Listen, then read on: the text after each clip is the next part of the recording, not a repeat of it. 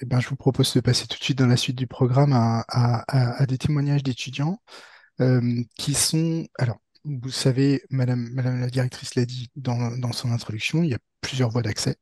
Et, pour euh, accéder aux écoles vétérinaires, une voie post-bac qui sera largement développée pendant une heure à midi euh, tout à l'heure. Donc, mais là, on va s'intéresser plus avec des témoignages de Emma, qui est issue de la voie A, B, C, P, S, T, et de Lucie, qui est issue de la voie C, et Esteban, qui est issu de la voie licence. Je, les remercie euh, de bien vouloir euh, activer leur caméra et leur micro. Et puis, euh, eh ben, on va commencer par la, la, bah, l'alphabet, tout simplement. Donc, peut-être la voix A. On va commencer par ça. Euh, est-ce que vous m'entendez déjà? Oui, très bien. Ok, parfait. Euh, donc moi, je m'appelle Emma, j'ai 22 ans et je suis actuellement en V3 à Oniris. Et donc moi, je suis issue de la prépa euh, BCPST, euh, dont j'ai fait trois ans de prépa, puisque la prépa, normalement, c'est en deux ans, mais on peut redoubler si on a échoué au concours en deuxième année. Donc ça a été mon cas. Alors, mon profil, quand j'étais au lycée, j'ai toujours été une élève très studieuse, bonne élève, euh, rigoureuse, euh, pas de soucis pour travailler. Donc, euh, la prépa ne me faisait pas trop peur sur ça. Et donc, j'ai toujours voulu faire vétérinaire comme la plupart des personnes qui veulent s'orienter dans ces études. Et donc, tout naturellement, donc moi, j'ai passé l'ancien bac. Donc, j'avais un bac, j'ai passé le bac scientifique spécialité SVT en 2019 que j'ai eu mention très bien. Et donc, c'est tout naturellement qu'avec mes professeurs, donc pour postuler sur Parcoursup, m'ont orienté vers la prépa. Je ne savais pas, moi, qu'il y avait d'autres voies d'accès. On m'a toujours dit, la prépa, c'est la voie royale, entre gros guillemets. Et comme j'avais des bons résultats, que j'avais pas peur de travailler, c'était naturellement que je me suis orientée vers cette voie. Euh, et donc, sur Parcoursup, euh, j'ai été acceptée euh, partout, sachant que j'avais une très bonne moyenne générale. Mais après, donc, on peut être accepté dans différentes prépas selon notre moyenne générale au lycée et selon la réputation de la prépa, les prépas parisiennes étant plus exigeantes, par exemple. Donc, moi, c'était à Nancy, donc c'était une prépa un peu moins exigeante, on va dire. Euh, donc, j'ai été euh, à l'internat, moi, pendant euh, mes trois années de prépa, ce qui était très enrichissant d'ailleurs, parce que ça me permet d'avoir un environnement de travail euh, constant, de jamais être seul. Donc, euh, contre la déprime, ça peut être pratique. Euh, donc, euh, quand j'ai passé le concours la première fois, donc ce qu'on appelle en prépa euh, être trois demi, donc c'est la première fois qu'on passe le concours. Donc, j'ai réussi les écrits et je suis allée aux Euros à Paris, mais je n'ai pas été admise. Et donc, c'est pour ça que j'ai redoublé pour tenter une deuxième fois le concours euh, vétérinaire que euh, j'ai eu cette fois-ci après les oraux. Euh, et donc, pour parler de la prépa, les difficultés principales qu'on rencontre en prépa, c'est le rythme de travail qui est très important. On a des grosses journées. Des grosses journées 8h, 18h, ça arrive, mais c'est pas toute la semaine, puisque la spécificité de la prépa aussi, c'est qu'on a euh, des examens oraux qui s'appellent des cols, qu'on a en fin de journée. Donc, par exemple, on peut faire 8h, 16h, et à partir de 16h, on a des créneaux pour avoir ces cols. Donc, euh, ces examens oraux qu'on appelle cols, donc on les a en sciences, donc mathématiques, physique, chimie, biologie, géologie, et en anglais. Donc, c'est des interrogations orales qu'on a généralement par groupe de trois élèves avec un professeur, et on en a aux alentours de deux par semaine. Et ensuite, après, toutes les semaines, on a aussi un DS. Donc, ça dépend des prépas. Ça peut être le vendredi après-midi ou le samedi matin. Ça dépend. Mais c'est toutes les semaines, en tout cas. Donc, c'est pour ça que le rythme est vraiment euh, très, très, euh, très important. Et on a aussi donc beaucoup de stress, beaucoup de fatigue parce qu'on travaille beaucoup. Euh, on peut être déçu de par euh, ses notes, puisque généralement, on est des bons élèves qui vont au lycée avec des très bonnes notes et on arrive en prépa, c'est euh, un nouveau mode de notation, c'est clairement des nouvelles, des nouvelles exigences. Des nouvelles exigences qu'on attend de nous et donc euh, les notes ne suivent pas forcément. Donc il faut arriver à garder le cap euh, là-dessus et ne pas se laisser abattre. Euh, et donc moi, ce que je retire de satisfaisant de la prépa, euh, c'est surtout le fait d'avoir redoublé. Parce que ça arrive, donc euh, il y, y a beaucoup de personnes qui arrivent à avoir le concours veto du premier coup, mais il y en a beaucoup qui n'y arrivent pas. Et donc de redoubler, ça permet vraiment de, de se rendre compte de ses erreurs de, et vraiment de ne travailler que là-dessus Et donc, on a un peu d'avance, entre guillemets, puisqu'on connaît déjà le programme. Il suffit juste, entre guillemets, qu'on retravaille nos lacunes. Et donc, c'est euh, la grande majorité du temps qu'en redoublant, on obtient le concours qu'on voulait. Donc, c'est une grande chance de pouvoir, euh, de pouvoir redoubler. Et euh, donc, les conseils que je donnerais aux personnes qui veulent faire une prépa, alors, euh, faut avoir en tête effectivement que euh, ce n'est pas comme à la fac, on peut pas malheureusement sortir tous les jours, faire la fête toutes les semaines avec les copains. Donc, entre guillemets, il faut être prêt à sacrifier deux ou trois ans euh, de sa vie étudiante, mais quand même toujours en gardant une activité extrascolaire, si on faisait de la danse, si on faisait de la musique. C'est important de garder une petite bulle comme ça en dehors du travail parce que sinon c'est c'est juste pas possible. Que je donnerais aussi comme conseil, c'est euh, donc aussi de ne pas négliger son sommeil. On n'y pense pas assez, mais on arrive vite dans un cercle vicieux en prépa où les cours vont vite et le soir, on a envie de retravailler ses cours, de travailler l'école qui arrive, les DS qui arrivent. Et donc, on travaille tard, on peut se coucher tard. Le lendemain, on est fatigué, on n'assure pas trop en cours, on reprend du retard, etc. Donc, c'est un cercle vicieux dont il faut vraiment essayer de se défaire. C'est compliqué, mais il faut vraiment essayer de trouver un rythme entre le, bon repos et euh, la bonne quantité de travail. Et surtout, euh, aussi ne pas hésiter à poser ces questions aux professeurs. les, profs savent que la prépa, c'est dur, la plupart sont passés par là. Et les profs peuvent vraiment être un soutien euh, moral aussi, si on en a besoin. Et c'est vraiment important, plus que tout, de, de, de, toujours revenir sur ses erreurs, sur une mauvaise note qu'on a eue en DS, un exercice qu'on n'a pas du tout réussi, qu'on n'a pas compris, euh, vraiment, c'est super important de, demander aux, professeurs de toujours chercher à comprendre et toujours chercher à progresser. C'est ce genre de choses qui peuvent faire la différence après euh, au concours. Euh, aussi, donc ce qu'il faut faire, c'est de ne pas négliger les langues. Donc généralement, quand on arrive en prépa, donc on vient de lycée, on aime les sciences, on est généralement plutôt bon en sciences. Bon après, ça se complique, mais globalement, tout le monde a à peu près le même niveau. Mais ce qui discrimine le plus au concours ABCPST, surtout, c'est vraiment les langues l'anglais et le français, notamment le français qui a un gros coefficient à l'écrit et qui peut vraiment euh, tout plomber, même si on a des très bonnes notes en sciences. Ça a été mon cas, moi, euh, la première fois que j'ai tenté le concours. Bon, j'ai quand même été prise, mais j'avais une très mauvaise note en français, donc je suis partie avec un handicap. Donc vraiment, l'anglais et le français à ne pas négliger. Le, niveau en anglais aussi est exigeant, donc pareil, on a des oraux toutes les semaines pour bien travailler ça, mais c'est super important. Euh, il faut aussi ne pas négliger les travaux pratiques parce qu'on a aussi ces évaluations-là euh, au concours au moment des, oraux. Euh, les travaux pratiques donc en physique, chimie euh, et biologie, géologie. Donc pareil, c'est super important. Et pour ce qui est niveau méthode de travail, donc je pense qu'il faut vraiment avoir une certaine rigueur dans sa méthode de travail. Euh, savoir de quoi on est capable, quelle manière d'apprendre fonctionne pour nous. Je pense qu'il faut vraiment se connaître. Mais après, la prépa aide aussi à se connaître. On peut tester différentes techniques pendant l'année pour voir qu'est-ce qui marche pour nous. Ça, il n'y a pas de problème là-dessus. Mais voilà, au bout d'un moment, pour pouvoir être vraiment très productif, il faut se connaître et connaître ses méthodes de travail et de raisonnement aussi pour ce qui est après euh, au niveau des devoirs écrits, de d'être capable de raisonner euh, correctement, scientifiquement, d'analyser des documents scientifiques, euh, avoir un esprit critique, etc. Et de bonnes compétences en communication, donc ça, va de pair. Et aussi, dernière chose, c'est que euh, donc la prépa, donc, ça peut faire peur, mais ça, fait vraiment des, des amitiés. On peut vraiment se trouver des bons groupes d'amis et qui peuvent être aussi nos groupes de travail et c'est vraiment super important. Ça permet de ne jamais être seul, de, de se soutenir les uns les autres. Il ne faut pas, pas hésiter non plus à s'interroger, à s'expliquer les choses. Et ça nous permet à nous-mêmes de progresser. Si on est capable d'expliquer quelque chose, c'est qu'on l'a compris. Euh, donc voilà, je, pense que j'ai à peu près fait le tour. Je ne sais pas s'il y a des questions ou s'il y a quelque chose que j'aurais oublié de, mentionner. Ils ouvrent le concours veto BTS agricole. Ah Alors, est-ce que quelqu'un n'a pas intérêt à faire ça? Merci euh, de couper votre micro. Euh, merci Emma. On va peut-être euh, en fait enchaîner les présentations et puis se garder un petit temps de, questions-réponses à la fin. Donc on, enregistre un certain nombre de, questions qui sont posées dans le chat. alors on a parlé d'ordre alphabétique, donc peut-être la voix B, Esteban? Oui, oui, bonjour. Est-ce que vous m'entendez déjà? On t'entend mais on ne te voit pas. Hop. Eh ben voilà. Voilà, Merci.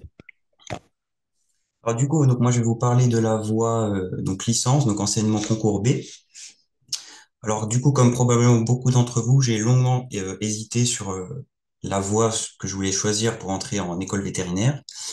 Et du coup, après pas mal de recherches, euh, j'ai choisi du coup la voie licence pour donc plusieurs raisons que je vais vous présenter tout de suite. Donc tout d'abord, euh, concernant la prépa, c'était une voie qui me correspondait pas forcément euh, par rapport à par exemple ma façon de travailler, parce que je suis quelqu'un qui aime beaucoup travailler en autonomie. Et du coup, c'est le cas à l'université, on est, on, a, on est beaucoup amené à travailler en autonomie. Et alors que par exemple en prépa, avec le rythme de travail, on est plus encadré et c'est pas forcément quelque chose qui me correspondait. Euh, ensuite, je voulais également me focaliser sur les, matières qui me plaisaient le plus.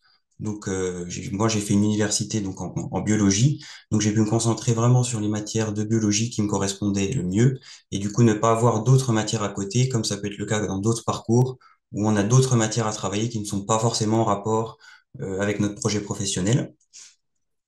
Et enfin, euh, vu la difficulté d'un concours, hein, ça reste un concours, euh, donc il n'y a pas beaucoup de place. Donc le fait de faire cette licence, ça me permettait également d'avoir un diplôme en plus si jamais j'étais amené à ne pas réussir le concours. Donc euh, ça me permettait d'avoir une licence et donc un échappatoire si jamais j'échouais au concours.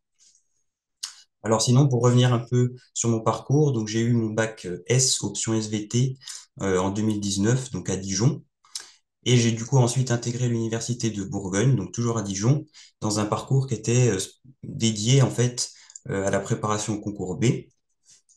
Donc en fait, on avait les mêmes enseignements que les autres groupes euh, de la promo, mais en fait, on avait une petite option en plus qui nous permettait d'avoir des cours pour nous préparer justement aux matières du concours. voilà. Et du coup, en fait, on était, par exemple, en première année, on était 60 étudiants, donc deux groupes de 30, et du coup, ensuite, en deuxième année, il y a une sorte de petite sélection où on est du coup euh, resté à 30 étudiants pour au final, en troisième année, être un petit peu moins de 30 à, tenter le concours. Alors pour, euh, pour moi, la préparation au concours, elle a vraiment commencé en deuxième année. Et moi, moi j'ai pris la décision de, de passer le concours seulement en L3, donc en troisième année, pour avoir plus le temps d'être, euh, enfin, pour me préparer au mieux euh, aux différentes épreuves du concours. Alors, pour faire rapidement comment, enfin, de la façon dans laquelle le, concours licence s'organise, alors il y a une première partie admissibilité, donc où en fait on a une épreuve écrite euh, avec une dominante. Donc moi c'était une dominante chimie car je suis en, j'étais en, en université de biologie, donc c'est toujours une dominante opposée à votre parcours. Donc ça peut être soit biologie si vous faites une fac de chimie, parce qu'il va être un parcours chimie, ou chimie dans mon cas, si, vu que je faisais un parcours biologie. Et donc, il y a cette épreuve écrite, et avec ça, on doit constituer un dossier euh, sur, en fait, c'est une sorte de grand CV sous forme de diaporama qu'on doit déposer sur le site du concours. Et en fait, ça reprend tous nos résultats scolaires, euh, tous nos stages vétérinaires antérieurs, toutes nos activités extrascolaires. Donc, en gros, tout ce qui nous valorise, le volontariat, par exemple. Et donc, ensuite, ils font la moyenne de ça et ils ont gardé du coup 96 euh, personnes euh, sur à peu près 700 au départ. Ensuite, la deuxième partie, du coup, pour sélectionner, donc parmi ces 96 personnes, ils vont sélectionner 68 personnes. C'était mon cas à l'époque. Je ne sais pas si ces chiffres seront les mêmes encore cette année. Euh, du coup, ensuite, la, deuxième partie admission, il y a trois euros. Donc, le premier, c'est sciences et société. Donc, en fait, on tire un texte au hasard sur un sujet qui fait débat, donc un sujet scientifique. Et euh, on, donc on a un temps de préparation, on le présente à un jury et ensuite on débat avec le jury. La deuxième partie, c'est un entretien, donc c'est une sorte de, comme un entretien d'embauche finalement, mais pour montrer nos motivations euh, à devenir vétérinaire, euh, pourquoi on, veut devenir vétérinaire. Donc c'est vraiment un entretien. Et ensuite, la dernière partie, c'est un oral d'anglais. Donc un oral d'anglais qui en fait ne compte pas dans la moyenne, mais qui est éliminatoire si on a en dessous de 8. Donc euh, voilà. Donc ensuite, donc cette partie font du coup une sorte de moyenne, par exemple, donc entre sciences et société et l'entretien. Et du coup, ils retiennent 68 personnes qui du coup seront réparties dans les quatre écoles vétérinaires. Donc, euh, au cours de ma préparation, comme je l'ai dit, j'ai eu des cours de préparation en chimie organique et en chimie générale, donc pour préparer la première partie, donc avec l'épreuve écrite. Et j'ai eu également des conseils pour la préparation du dossier, qui est une très grosse partie euh, du concours. Et enfin, j'ai également eu des entraînements aux oraux donc pour m'entraîner aux entretiens et à la science et société et à l'anglais. Alors si je devais donner les avantages de la voie licence,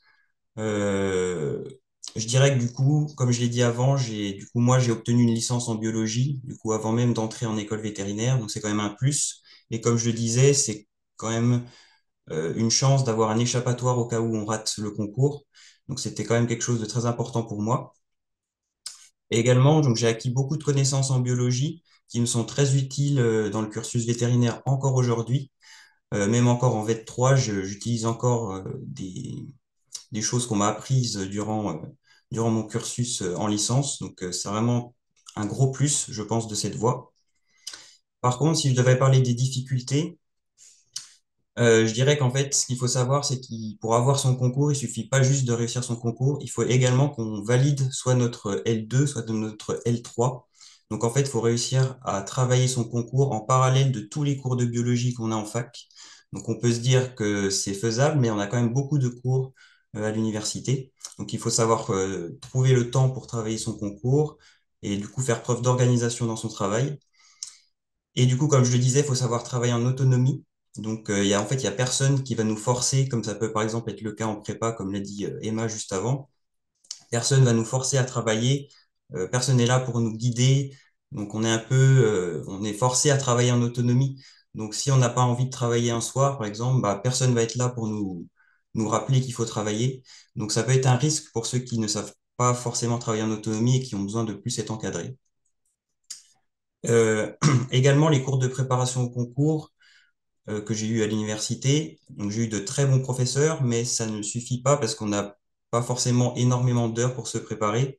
Donc en fait, ce qui va faire la différence avec les autres, c'est le travail que vous allez faire à côté, donc en dehors de tous les cours, euh, donc à, travailler, à travailler, euh, du coup toujours en autonomie.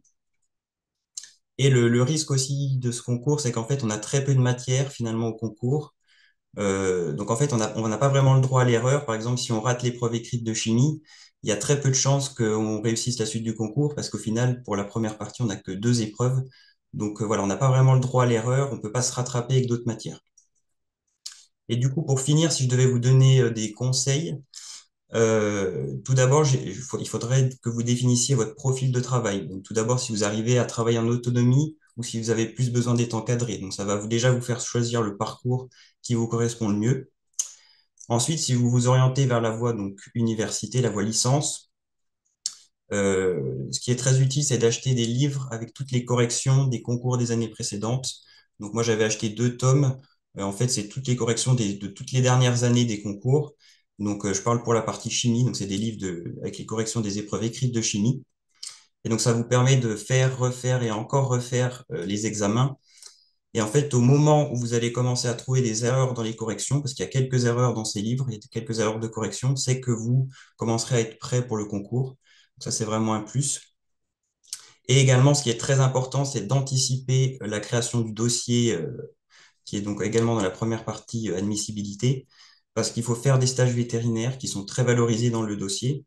Donc ça, ça s'anticipe.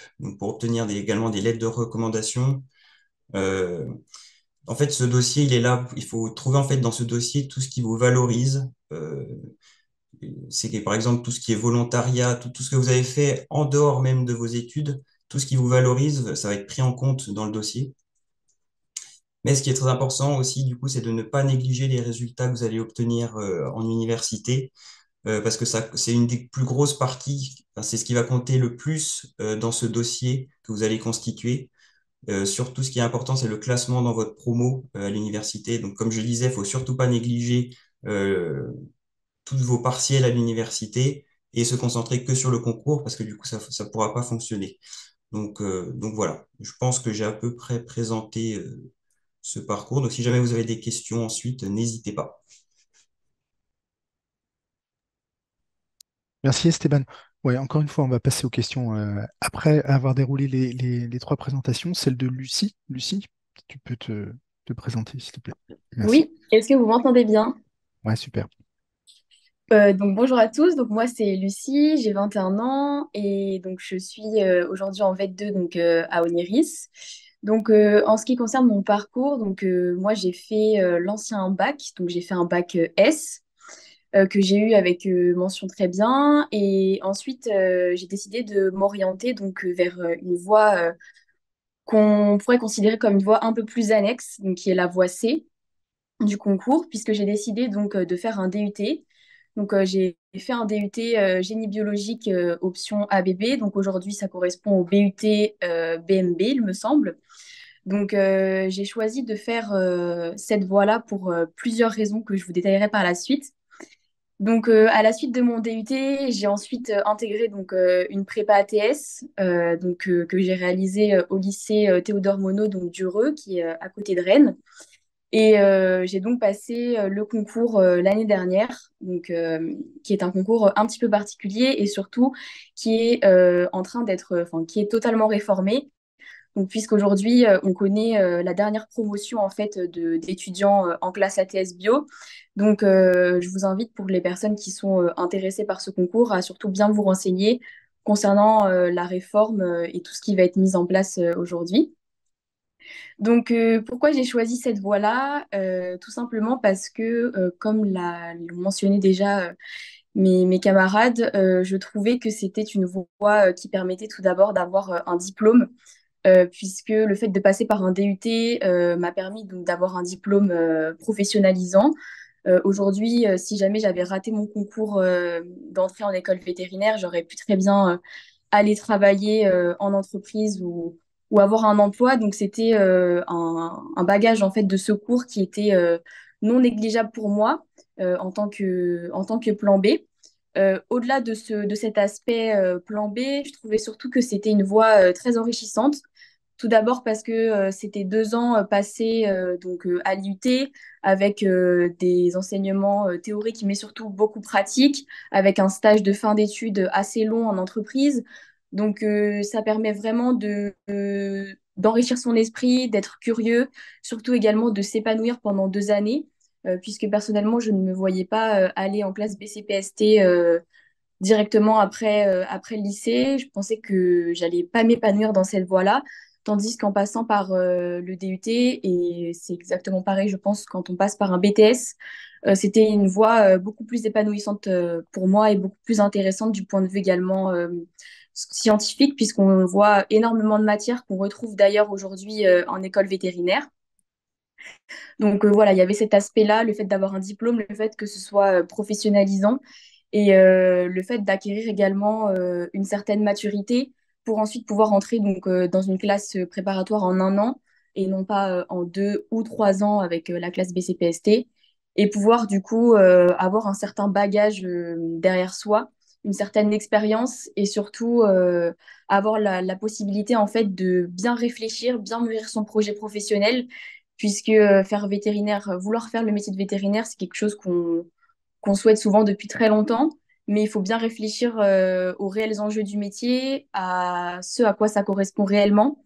Et donc, euh, justement, passer par euh, ce parcours-là permet vraiment de mûrir son projet et d'avoir également le temps de faire des stages, des stages en clinique vétérinaire pour justement avoir la réalité du métier, pouvoir ensuite bien préparer ses épreuves de concours également pour se remotiver et savoir si c'est vraiment ce qu'on veut faire ou non.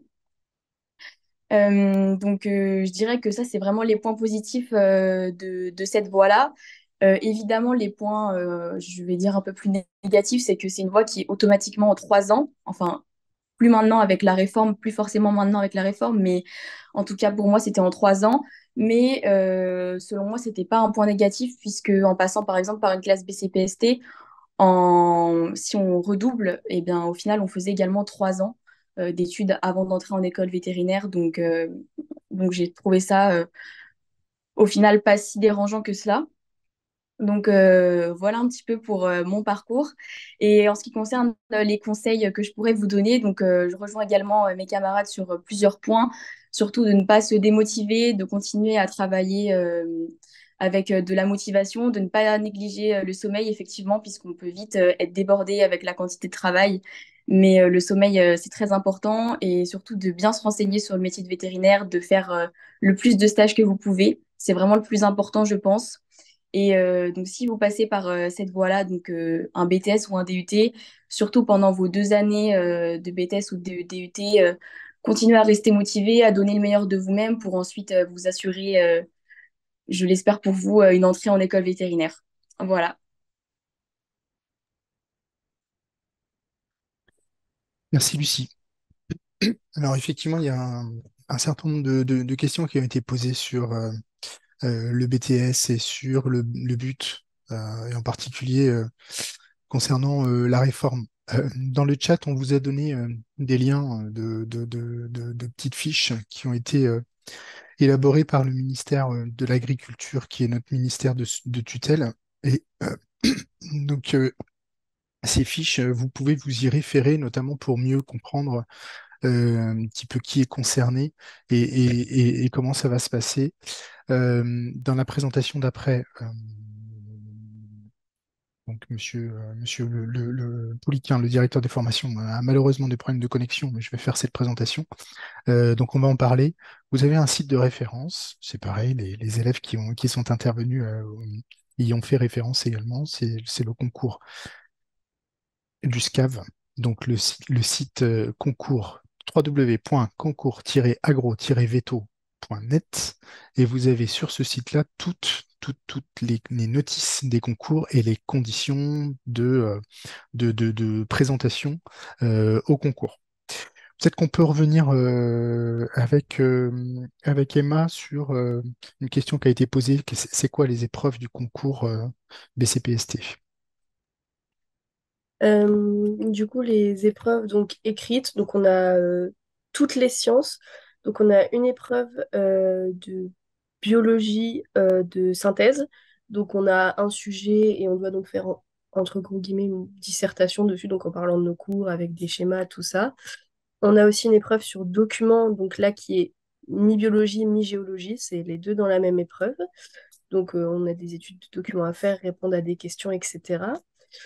On a aussi euh, deux épreuves de mathématiques, une de mathématiques, euh, comment dire, vraiment euh, algébrique, donc qui dure 2h30 si je ne dis pas de bêtises, et l'autre épreuve de mathématiques, ça s'appelle maths modélisation, donc là c'est plus lié au programme d'informatique qu'on a, parce que c'est vrai que j'ai oublié de le mentionner, on a de l'informatique aussi en prépa, donc là c'est une grosse épreuve de 3h30 où on va nous demander de compléter des programmes et de faire des des, modélisations mathématiques, etc. Même si c'est sur euh, papier, il faut être capable d'écrire un script euh, informatique euh, à l'écrit. on a aussi donc une épreuve de physique et une épreuve de chimie, donc qui là sont séparées. Donc il y a une épreuve qui est une étude de documents un petit peu comme en biologie, géologie, et une épreuve où c'est vraiment des exercices comme on peut avoir en DS, mais on ne sait pas à l'avance quelle matière va tomber en document et quelle matière va tomber en exercice, mais on sait que si par exemple euh, l'épreuve du document qui tombe en premier est en physique, on sait qu'on va avoir chimie pour les exercices. Euh, donc j'ai parlé physique, chimie, mathématiques, biologie. On a le français, donc euh, français philo.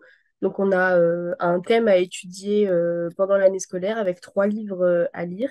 Et donc on va avoir une dissertation à faire sur un sujet de français pendant trois heures. Et on a aussi l'épreuve écrite euh, d'anglais qui dure deux heures, où là, on a plusieurs petits exercices. On va avoir, pareil, une petite dissertation à réfléchir sur un sujet, donc c'est bien d'avoir une bonne culture anglo-saxonne. Les exemples peuvent beaucoup servir. On a aussi euh, une étude de texte. Euh, donc, on a un texte en anglais et on a deux questions dessus généralement pour voir si on a bien compris le texte. Et on a aussi, dans cette même épreuve, un exercice de traduction. Donc on a un texte en français à traduire euh, en anglais. Et je crois que j'ai fait le tour, il me semble. Voilà, et je ne sais pas s'il faut que je détaille pour les oraux aussi. Oui, euh, il y a une question effectivement qui a été posée. Est-ce que, euh, alors, d'autres, des, questions concernant les stages aussi, est-ce que tu en as fait pendant la prépa?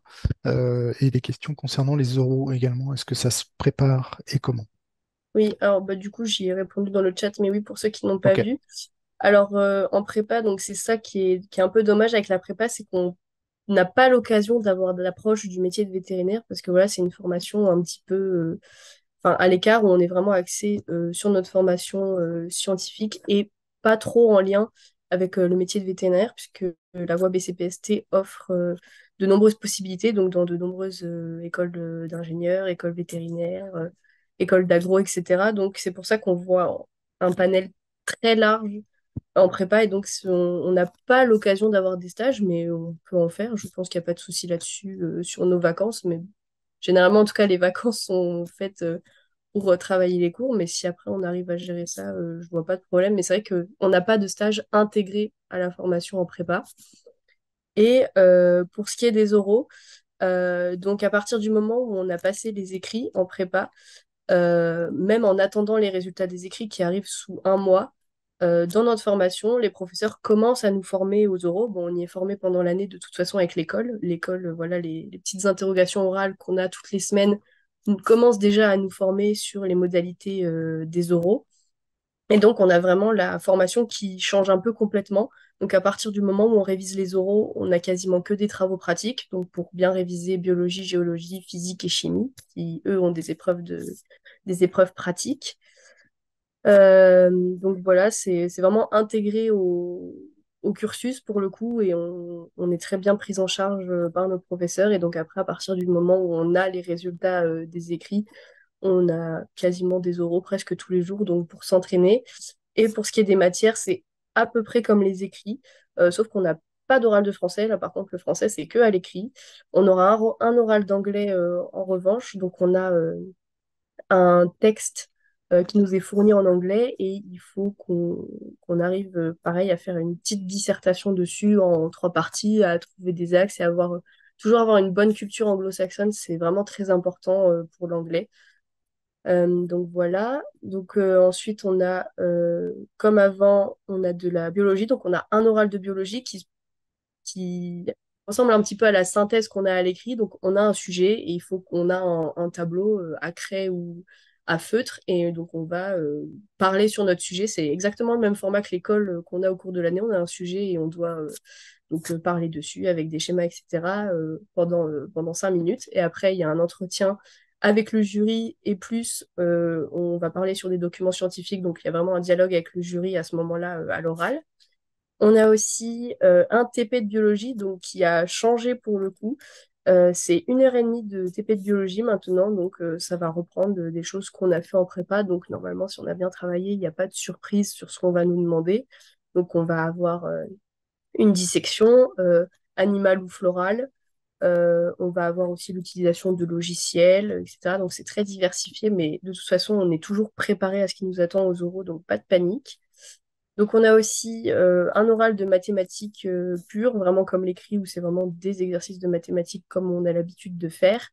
Et on a aussi un oral de présentation de notre projet informatique, puisque à partir de la deuxième année, euh, donc pour la matière informatique, on a un projet informatique à préparer. Donc ça peut être très souvent, c'est programmer un jeu, un jeu qu'on connaît, un jeu de plateau, etc. Et après, on peut le présenter à l'oral et on va être interrogé dessus pour connaître notre implication dans le projet, si on, connaît bien euh, l'informatique, etc. Euh, et ensuite, donc on a euh, la matière physique-chimie qui, pareil, va être divisée en deux. C'est un peu comme les écrits, pareil. Si on a un oral de physique pure, donc ça va être pareil, un exercice à résoudre et après discussion avec le jury.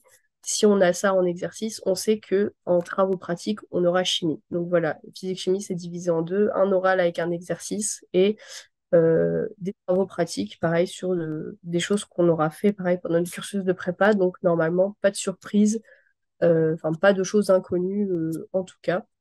Et je crois que j'ai fait le tour. Ah non, oui, si aussi, on a l'épreuve de TIPE. Donc, un petit peu comme en terminale, si ça existe toujours, les TPE, donc travaux personnels encadrés. Donc là, c'est un projet qu'on va mener, pareil, pendant notre deuxième année où euh, on va nous-mêmes, on a un thème national qui est imposé et on va chercher euh, une problématique euh, dans ce thème et on va essayer de faire des petites expériences là-dessus et on a un rapport écrit à rédiger donc qui est envoyé qu'on doit déposer sur le site des concours et ensuite donc au moment des oraux on va être interrogé sur notre projet. Donc on va le présenter sous forme de diaporama de panneaux c'est comme on le souhaite et donc, on va être évalué sur ce travail qu'on aura préparé, euh, pareil, pendant toute notre deuxième année. Voilà. Merci Emma. Du coup, pour tous les concours, il y a une règle qui s'applique, c'est deux présentations au concours euh, maxi. Euh, hormis, effectivement, si on passe par la voie post-bac, ça n'obère pas le, principe de pouvoir passer par une autre voie si on ne, si on ne réussit pas ce concours post-bac. Et ça, ce sera discuté tout à l'heure dans la présentation. Alors, euh, on a tout un tas de choses à dire, hein. c'est compliqué, puis vous avez tout un tas de questions et c'est normal. Euh, juste pour euh, des compléments d'information par rapport aux petites fiches ministérielles, je vais me permettre de les afficher à l'écran et, c'est des, des, fiches que vous retrouverez sur le site concours-agro-veto.net elles sont euh, voilà, assez bien, assez bien détaillées. On, y décrit euh, l'admissibilité, l'admission, et puis également le, les, finalement les, vous avez aussi un, QR code sur ces petites fiches qui, qui permet de renvoyer à la page du concours dédié donc sur concours-agro-veto.net, encore une fois. Et ces fiches, elles seront également bientôt, très bientôt, disponibles sur notre site internet. Voilà. Et vous avez encore une fois sur le site du concours toutes les mentions qui sont éligibles à ce concours. Donc ça, c'est pour le concours de la voie licence. Si je prends une autre fiche, qui est la fiche du concours but, voilà. Donc, pareil, on a le, détail de, cette petite fiche explicative qui permet de comprendre que l'on peut, avec un but, intégrer une formation ingénieur ou une formation vétérinaire. Et enfin, petite fiche euh, qui concerne le concours. Hum, hum, hum, je l'avais ouvert, voilà. le concours BTS. Enfin, l'accessibilité possible avec un BTSA ou un BTS. Vous voyez que la question a été posée dans le chat. Vous voyez que dans les mentions de BTSA, euh, effectivement, le BTSA technico-commercial et développement et animation des territoires ruraux n'est pas éligible, mais les, autres mentions de BTSA sont possibles. Euh, on a pris du retard et euh, j'ai une petite présentation à faire quand même, euh, à vous faire concernant l'organisation des études. Je, remercie les étudiants qui sont, que, j'invite à rester et éventuellement à, continuer à répondre aux, questions dans le chat.